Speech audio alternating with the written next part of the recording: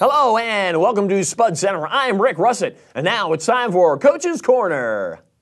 As a coach, I have traveled far and wide to find the very best, the toughest, the most amazing foods. Number one would be stunt. Stunt tater.